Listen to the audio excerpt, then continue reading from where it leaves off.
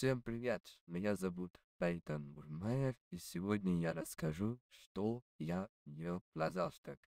Булочка с сосиской, чай бутерброд и... что? И пряники до чаю. И все.